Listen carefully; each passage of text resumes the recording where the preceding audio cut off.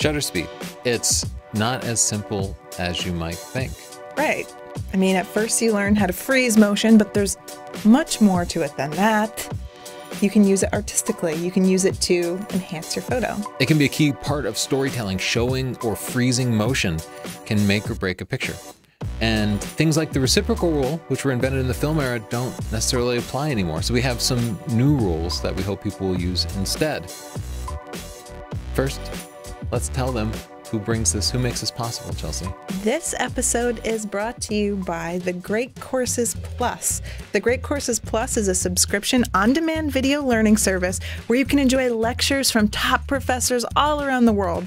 These courses stream from your TV, tablet, laptop, or phone through any web browser or available apps. You can get The Great Courses Plus for free for one month. Get a trial. You can go to thegreatcoursesplus.com slash Tony and see what it's all about. I've already checked out some videos. Yeah, me too. And these people, they like learning from video. Yeah. They're clearly yeah. visual learners. The great thing about the Great Courses Plus is the content is all organized, not like YouTube, which is just a random stream of stuff. It's organized and professional. If you want to check it out for free, get a trial at thegreatcoursesplus.com slash Tony. We're going to be talking about like how and when to apply shutter speed, but not which buttons to push on your camera. Yeah, if you're looking for how to actually dial it in on your camera, then you can go to sdp.io slash tutorials and search your model of camera. We have some overviews specifically for you or a model of camera similar to yours, and you can learn how to actually dial it in and use the buttons. Let's talk about all the reasons you might want to use a slow shutter speed. Right, because sometimes you do. Right, and specifically, you'll use it to show action, and we have examples here.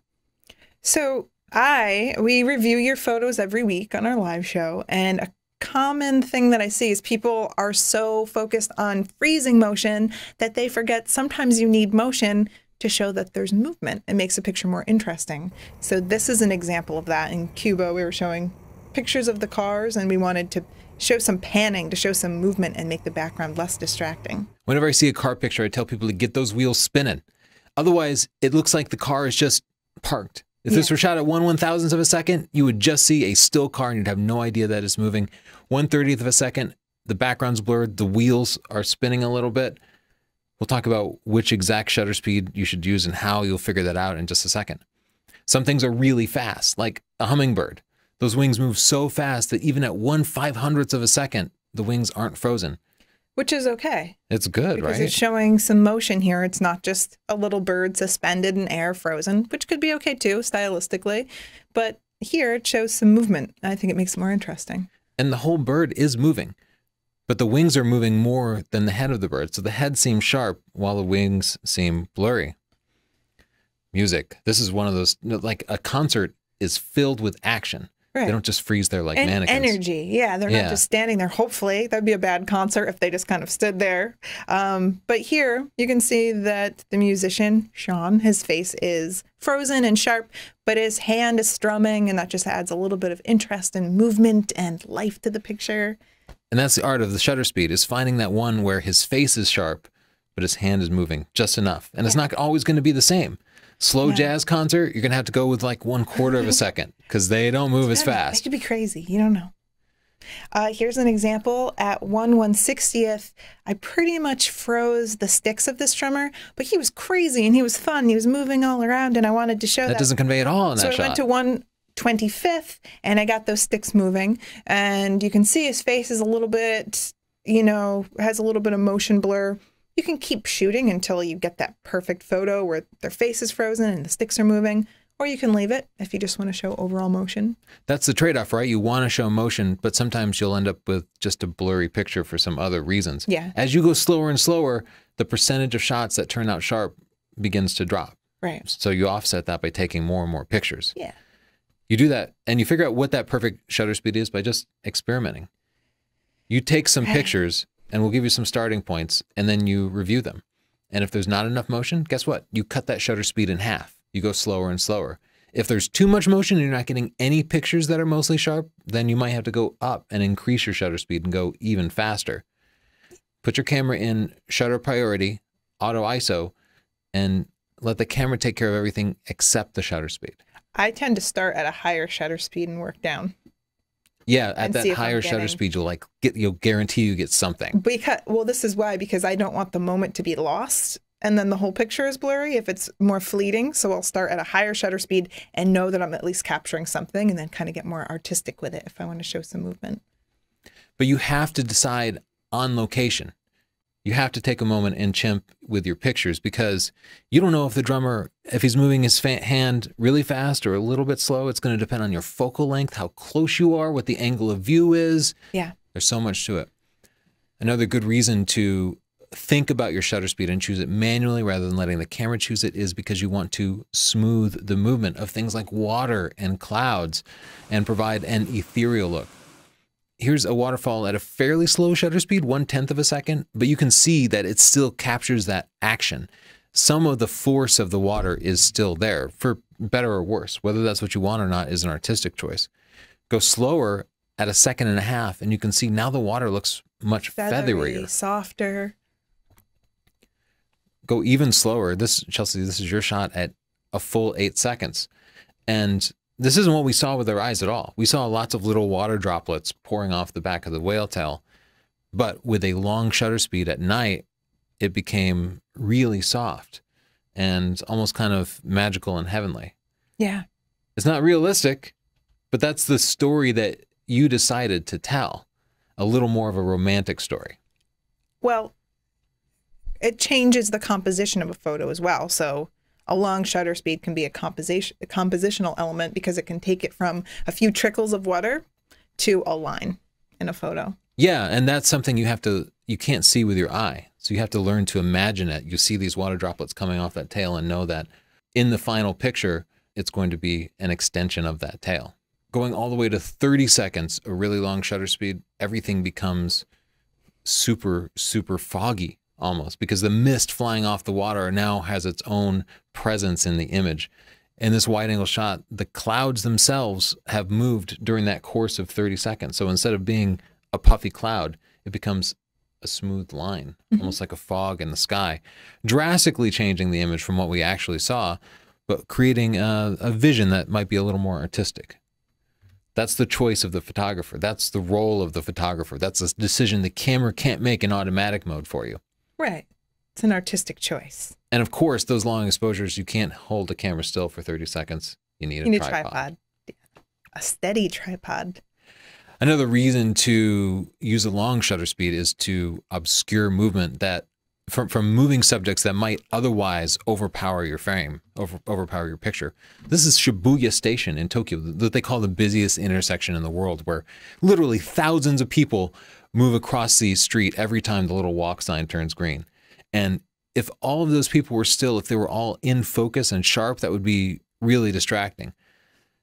They would also appear to be frozen like mannequins, but at a half second, that's enough to show all these people move, their movement and almost make them kind of ghostly. Yeah. And it allows you to take in the overall intersection more. Yeah, and it also tells the story of the intersection more too. People are moving through it. There's a lot of different people. You don't focus on any individual, it's more about the crowd.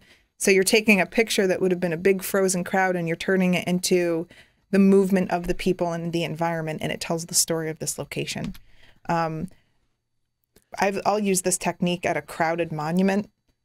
You know, if you're at, I think we were in Washington and the monument was just covered in people, but I wanted it to be more about the monument than the people. So I'll do a long exposure and just get all of those people moving out. Yeah, because they are moving, because they become a little bit blurry, they're less interesting to the eye. So someone Yeah. looking at the picture doesn't look at them, but they look at everything else. Yeah, and that's what this picture does at a two second shutter speed. You see that there are people there and you see that they're walking under the Brooklyn Bridge, but it's still very much about the Brooklyn Bridge. Now, a picture like this presented a technical challenge because at two seconds, there's no way I could have set the camera to take a two second exposure in broad daylight. It would have been overexposed. So I had to put a neutral density filter on the camera to allow me to take that slow shutter speed. We do have another video that shows you kind of a free alternative you can use if you don't, if you forgot to bring your ND filter or if you don't want to buy an ND filter that can provide very similar results. A long shutter speed can also be used for light painting. It's pretty popular, pretty trendy. Yeah, with light painting, you take some sort of light source and move it through the frame while the shutter's open. And we cover this in chapter 10 of Stunning Digital Photography. And this was done with a Pixelstick, which is just one long row of pixels. LED lights, yeah. Yeah. And we had it configured like a rainbow. You can do other things with it, but we just moved it gradually through the frame and it made this like long, kind of crazy looking ribbon over the course of 10 seconds. And with light painting, you often don't know how long you're going to be painting for. So sometimes I'll just lock the shutter open, do the painting, and then release the shutter because you don't know if it's going to if it's going to take you 5 seconds or 30 seconds. So you just leave it open as long as necessary and then you can adjust the brightness of it later. Oh, we did this photo with a 30 second exposure. Now, did we set off uh, did we turn on a flashlight to light you up every once in a while as you move through the frame? Yeah, this is me just me, but I Yeah. appear three different times in the frame because you were there with a flashlight and I was in the back and you lit me up with the flashlight and then you turned the flashlight off and I stepped forward and you lit me up again and I stepped forward and you lit me up again. But shutter speed was key here because I could not have done that in one thirtieth of a second. I couldn't have moved to three different spots, but 30 seconds was plenty of time for me to move to three different spots and light myself equally in all three places. That's pretty spooky. It is spooky. Cars become long trails of lights at night when you leave the shutter open for a long period of time. Headlights are white, brake lights tend to be red. And when you work along work with long shutter speeds a lot, you eventually begin to see those cars in your mind not as individual cars, but as long lines that you can use as compositional elements. Yeah, and I see this used sometimes there are pictures and they want to do night photography, so they want a night shot and there's a beautiful winding road. And photographers will accentuate that by waiting for a car to come and drive through the frame and accentuate the lines in the photo. So got to get crafty. Think of all the different ways to use that long shutter speed. steel wool, taking it two minutes. Light up steel wool, put it in a whisk, and just spin it in circles. We cover this in chapter 10, as well as some safety guidelines there, because you have to be careful with it. But you can see you can create really cool effects with long shutter speeds, things that your eye could never see. The picture's interesting because you don't see this, because it's impossible to take in something like this. Your camera can see it, but your eye cannot. Same with this example. I did it with a simple $2 plastic flashlight. Yeah Oh, was, yeah. and just moved it around. We have a whole video that shows you how to do that. And it took me about two minutes to get it done. Makes it look like fire. If you want to learn from more videos, you can check out our sponsor, The Great Courses Plus. You can get a one month free trial at thegreatcoursesplus.com slash Tony, and then they have plans starting from just $14.99 a month. I've been watching videos on The Great Courses Plus. Yeah, me too. Well, even before they were our sponsor, because I like that Neil deGrasse Tyson video. They have things about physics. a lot of science stuff. Yeah. So Professor Seth Freeman, he has 24 videos about uh, the best way to negotiate a deal. Something that any photographer, I think, could learn because you have to often negotiate prices or negotiate contracts or even negotiate your way into a photo shoot in the first place. So I have these videos in my watch list. They have everything from negotiating creatively to even cross-cultural negotiations. That'll be good if you're trying to negotiate some deals in another country. Uh, but there's plenty on there. There's one for learning how to do chess, which I'll probably be using so I can beat you. There's a whole bunch of stuff. So if you're interested in learning about photography, which they also have courses in, uh, negotiating for your photography business, or just beating your friend in chess, you can check out the Great Courses Plus. It's at thegreatcoursesplus.com slash Tony. And just try a free trial and tell me what you think. And watch that Neil deGrasse Tyson one. That was I like that one. There's a link in the description down below if you don't feel like typing. Let's talk about motion blur because along with choosing your shutter speed deliberately to make create an effect, you can pick up these kind of negative side effects. And motion blur is the negative side effect of using a long shutter speed. With motion blur, the subject is actually moving. And this is a, a picture taken at 30 seconds. And you can see the lighthouse there is nice and sharp. But the moon itself was moving enough that it became weird looking, all elongated. Yeah, it moves pretty quickly on the horizon, especially you see it. Yeah, I, I was getting uh, motion blur with the moon at like a quarter of a second, a sixteenth of a second, especially with a telephoto lens. It moves really very fast. Not something some- people think about. You had to do some image stacking to get a clear shot that you wanted, Yeah. it- which we have another video on. If you go search our videos, you can see we have a video on image stacking. One thirtieth of a second was not enough to freeze the motion of this deer. You can see it's motion blur and not camera shake because the background itself is nice and sharp, but the deer's chewing something. Yeah. So its mouth is moving, but that mm, ruined the picture. That's it wasn't good- desirable motion. Yeah, that's a good thing to take note of because we get a lot of messages. Why is there something wrong with my camera? Is there something wrong with my lens? Uh, nothing's in focus, and sometimes it's your it's your shutter speed, and sometimes it's motion blur. So, seeing these little differences, the background sharp, the foreground is moving, it's going to help you troubleshoot. Yeah, this l- picture looks out of focus, but it is in focus. It's just a combination of the subject having motion blur, blur and the background having background blur.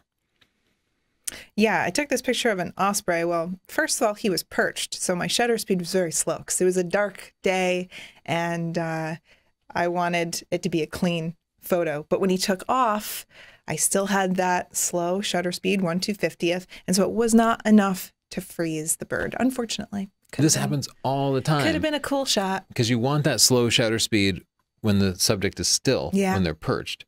But then as soon as they start moving, you need to be at one two thousandths of a second. Well, so when I'm shooting wildlife, I go into shutter priority because then I just have to scoot my dial there and go a little bit faster.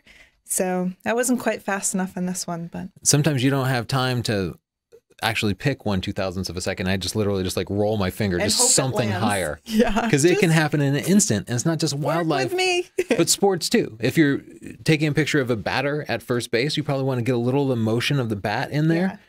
Um, but then as soon as they start running to first base, you want to be able to freeze the action of them running because you need a faster shutter speed to freeze to freeze them while they're running than you do when they're just standing still and batting. It so shutter sound- priority is perfect for that. It sounds intimidating, but there's some muscle memory involved. So you'll get to know your camera and you'll get to know the appropriate shutter speed. You got this. Another negative side effect of using slow shutter speed shake. is camera shake. That always happens to me. I'm like Yeah. shaky like a cold chihuahua. You're a very stable. Only from Shoot. years and years of practice. No, your your body doesn't move like mine. Like even sitting here, Yeah. Yeah. Also, my heart doesn't beat. you are a robot. This is the same deer as before at one thirtieth of a second, same shutter speed. But in this one, it's showing camera shake. um, because maybe there were just shaky hands. I like it. the difference is the background is moving and the subject itself is moving. this is that motion blur picture. You can see the difference. And that's important to know. When you look at your own pictures and you're figuring out what went wrong. I don't know why it makes me laugh. if it's camera shake, you might be able to solve the problem with image stabilization or a tripod or a monopod or better hand holding techniques. Motion blur, we all you could the only way to fix that is to stop the subject from moving, You moving, could, and the deer's not use going a to stop. stuffed deer instead. Yes, Get creative. If you can't understand shutter speed, but you can solve them both by using a higher shutter speed. Yeah. of course. But yeah, camera shake can be solved with a tripod. Generally, the heavier tripod, the better. yeah, especially with night photography, if a wind kicks up, you don't want to be have your your tripod blowing around. There are caveats to that. If you're, say, on a pier, like a floating dock, Yeah. that's going to move, even though it seems solid. Oh, or even just a wood deck. Yeah, if you're on a people walking around you, you sometimes you might think, "Why is this shaky? What's going on?" I've had people walk near my tripod on an unstable surface, or a wind blow, or vibrations. If there's if there are vibrations on the surface, there could be an engine running nearby.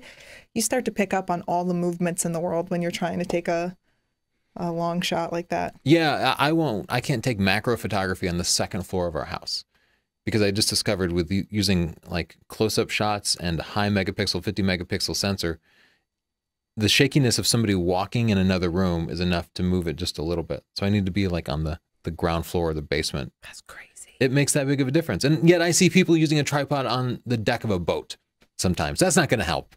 no, boats are moving too much. You're better off just trying to handhold it. the deck of a boat. Seriously, set up their whole tripod. I just imagine you pulling like a Nelson from The Simpsons and being like, ha ha, you're dumb at tripods.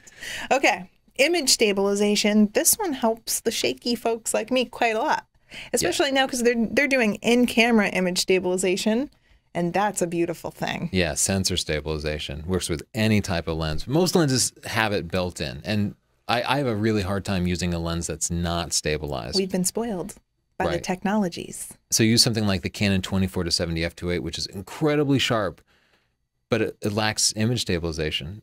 And when you get it right or you're using a tripod, it, it'll be so sharp, but then you miss so many shots because even if you are, you're at 160th of a second or 1 125th of a second, you'll still see a little bit of camera shake in like every shot, it seems like. Yeah. Image stabilization can just be so helpful and so important. I know, and I know that it's going to tick off the purists that we love image stabilization, but sorry.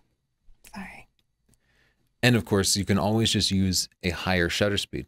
Right. But that in itself comes with negative side effects. There's a cost. Right. The consequence is high noise, the graininess that you see in your image. And if you try to use a really fast shutter speed all the time, noise will wreck your picture. Aside from not being artistic, you're going to get a lot of noise. Yeah. Look I- at this. Sometimes I'll forget and I'll leave the camera at a high shutter speed and then I'll go and I'll shoot a slow, slow moving subject like this chickadee.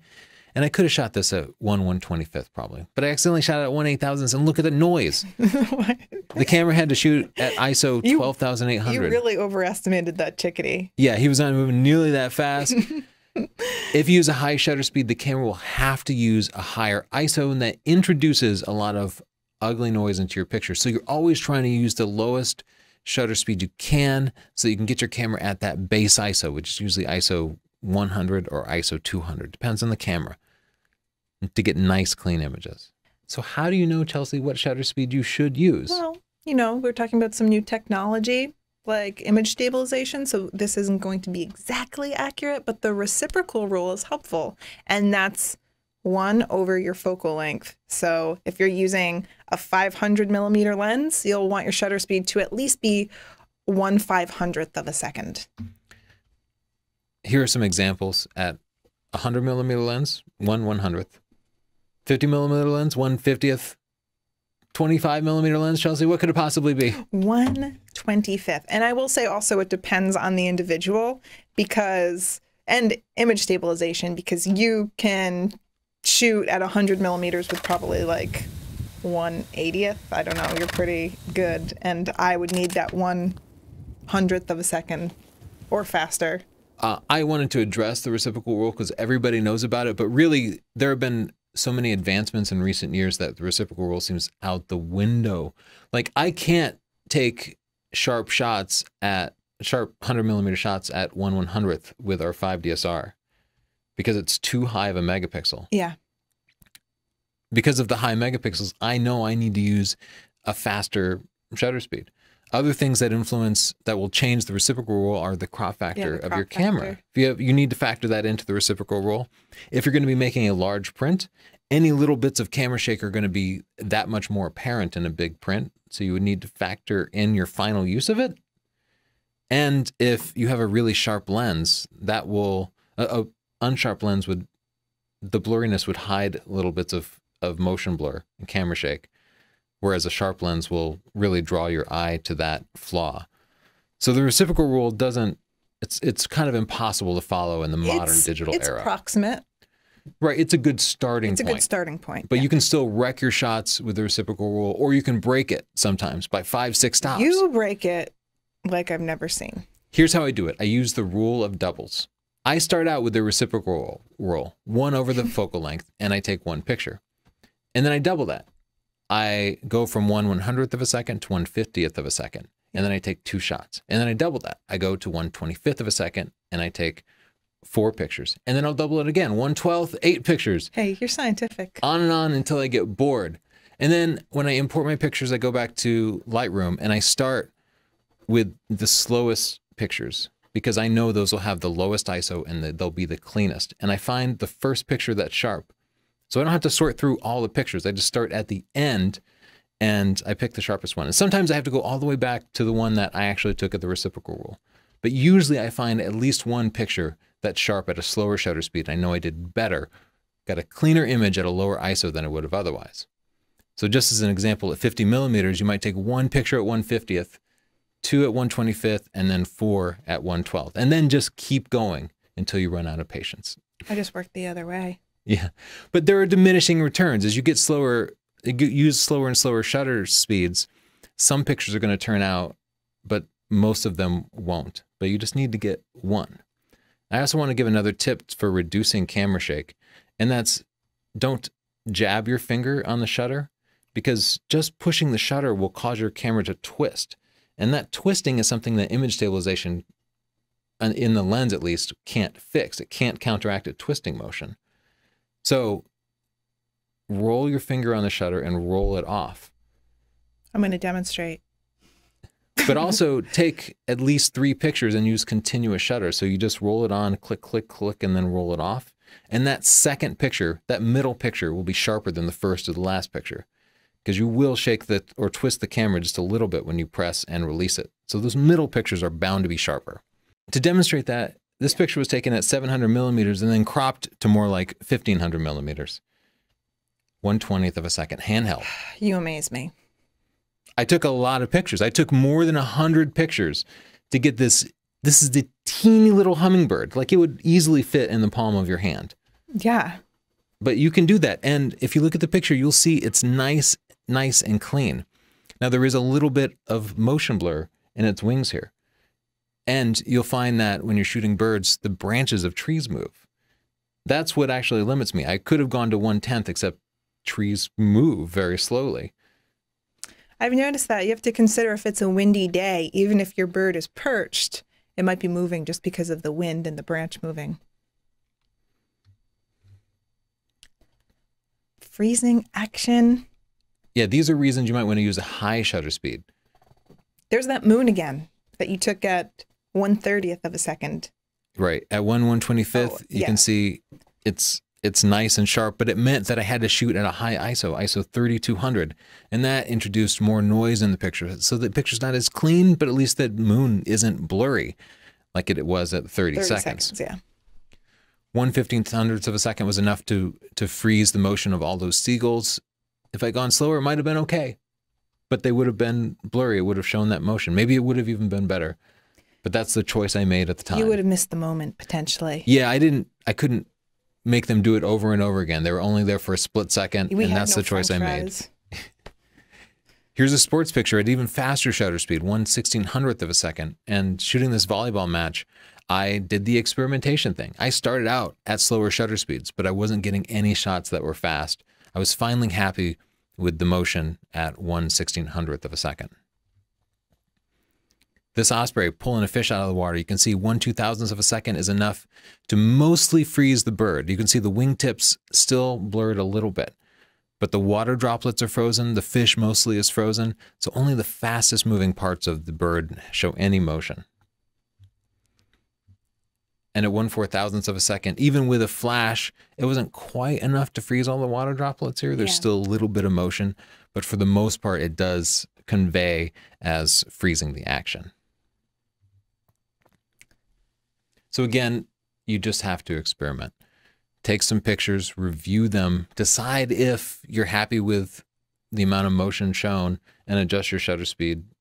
But give yourself the opportunity to review your pictures. Yeah, and learn your gear and learn yourself. Learn if you are more stable than the reciprocal rule or what you need to do to get the shot that you want. Yeah, and the image stabilization of your camera and or lens, mm-hmm. it can vary a lot. Some some lenses are only good for a couple of stops, some are good for four stops, sometimes more. Another potentially negative side effect of using fast shutter speeds is flash sync problems. So every camera has a sync speed, and usually it's one two hundredth or one two fiftieth of a second. Yeah.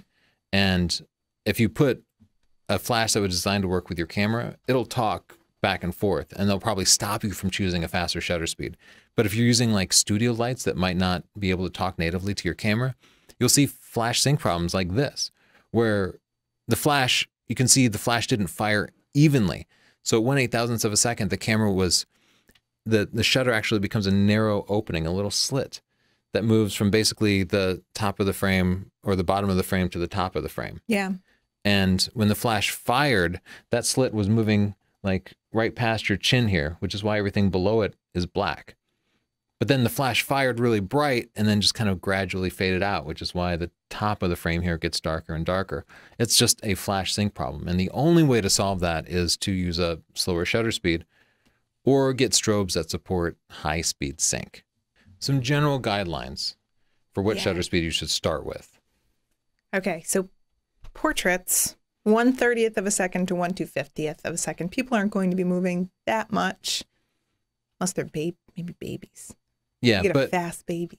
at one thirtieth of a second, you'll get some pictures where people are their face is a little bit blurry because they're Yeah. twisting their head a little bit. One two fiftieth will stop most people who are posing, but will force you to use a higher ISO, adding more noise.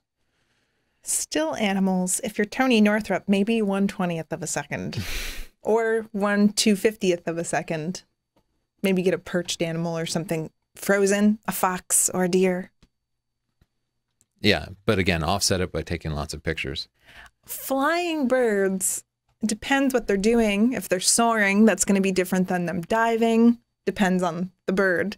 Uh, but one one thousandth to one two thousandth of a second should freeze the motion. Yeah, if it's a vulture and they're just soaring, one one thousandth seems to work well. But like you try to get a songbird that's uh, flying, Yeah. it's hard just to get it in the frame. But then you might even need to be at one four thousandths or higher. Kid sports, one one twenty fifth to one two fiftieth of a second. You want to show a little bit of motion. You don't want people going to kick a ball and then they're just frozen. It's good to see a little movement. Yeah, like you want their foot moving as they mm-hmm. kick the ball, but you don't want their whole body to be blurry. Yeah. But as people get older, even in like high school and middle school, they start to move faster. And you have to kind of compensate for that with your shutter speed. So I tend to start at a higher shutter speed. Just a, a funny way to put it. The humans tend to get faster. I've noticed this about humans. Oh, good job, Tony Bot. One of the few reasons people shoot multiple minute exposures is for star trails, which actually show the the motion of the stars as the Earth rotates. And just to give you a point of reference, this is a shot I took at three minutes. You can see they're moving around the North Star, and the stars are not points, but rather they're little bitty lines. And that's what you'll get at about three minutes. If you go to 20 minutes or so, those lines just continue to get longer and longer and mm-hmm. longer. And usually with star trails, the longer the better. If you can stand to run your camera for two hours, then the lines will be all that much more striking. Check our video. we have a video on that too. Look at us. Once again, go to sdp.io to slash tutorial to actually learn how to dial the settings into your individual camera. And thank you to the Great Courses Plus for sponsoring this episode, for making it all possible. They have great educational video content They have over that's organized. 7,000 video lectures. And they have professors and busy. professionals, National Geographic photographers. So check it out. You can get a month free trial at thegreatcoursesplus.com slash Tony. They're wonderful. Thank you. Thanks for watching. If you have follow up questions or something you want to add, add a comment down below. Give us a like if you found it helpful. And of course, subscribe to see more free content from our channel. Thank you. More free content. Mm.